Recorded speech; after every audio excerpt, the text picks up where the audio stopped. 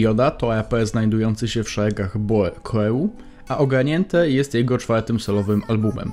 Zaraz po Wielkich Snach, wydanych w 2014 roku nakładem Urban Records, Antidotów w 2017 i Orient Orient w 2019 nakładem Boe Records. Album ten jest wyjątkowy z dwóch powodów. Po pierwsze, prawdopodobnie jest to pierwszy album rapera z Sopotu, o którego sprzedaż nie musi się jakoś przesadnie martwić.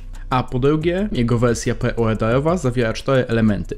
Niestety ja posiadam tylko trzy, a są to wlepki, płyta z muzyką i najciekawsza rzecz, jaką jest gra planszowa. W droższym zestawie, którego niestety nie nabyłem, można było jeszcze otrzymać piersióweczkę z grawałem literki B. Pakiet wlepek zawiera naklejkę z logiem wytwórni, małego jodę oraz napis ogarnięte. Płyta zawiera 14 utworów trwających łącznie około 41 minut. Wśród producentów znalazły się takie tuzy jak np. PSR czy Loa, członek 808 Bros, oraz producenci rodzimi, tacy jak np. ADZ czy Hut. Na krążku znalazło się również czterech gości.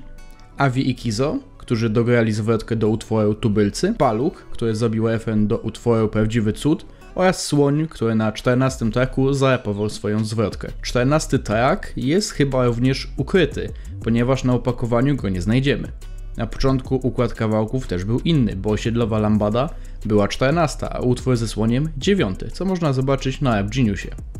Teraz chyba to, na co wszyscy czekają, czyli gra planszowa. Można ją chyba nazwać alkochińczykiem. Mamy cztery pionki, takie śmieszne papierowe kręcidełko zamiast kostki oraz zestaw kart. Z tego co wyczytałem z instrukcji, to po wejściu na zielone pole losuje się jedną kartę, na której znajduje się wyzwanie do zrobienia lub informacja, że można się poruszyć do przodu bądź do tyłu. Jeżeli gracz odmówi wykonania wyzwania, musi wypić dwie kolejki. O piersióweczce się nie wypowiem, no bo nie mam. Prawie wszystkie elementy wydają się być sensownie wykonane, oprócz tego kręcidełka.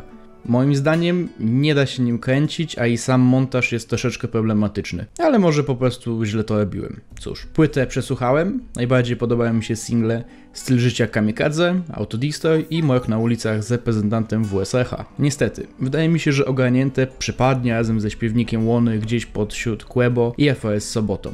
A szkoda, bo to naprawdę kozacki album. Gdybym miał samochód, to nie wyjmowałbym płyty jody ze zmieniarki przez najbliższy tydzień. Czy warto kupić krążek? Moim zdaniem warto. Nie wiem co prawda jak wygląda wersja standardowa, która będzie, która będzie do kupienia w sklepach stacjonarnych z muzyką, ale jeżeli zależy Wam tylko na muzyce i lubicie twórczość rapera z północy, to polecam. To wszystko co chciałem wyseplenić. Jeżeli tu dotrwałeś, to życzę Ci miłego dnia. Hello!